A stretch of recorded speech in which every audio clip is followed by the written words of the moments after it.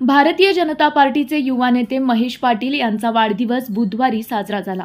त्यानिमित्त त्यांनी माजी खासदार लोकनेते रामशेठ ठाकूर यांची भेट घेत त्यांचे आशीर्वाद घेतले.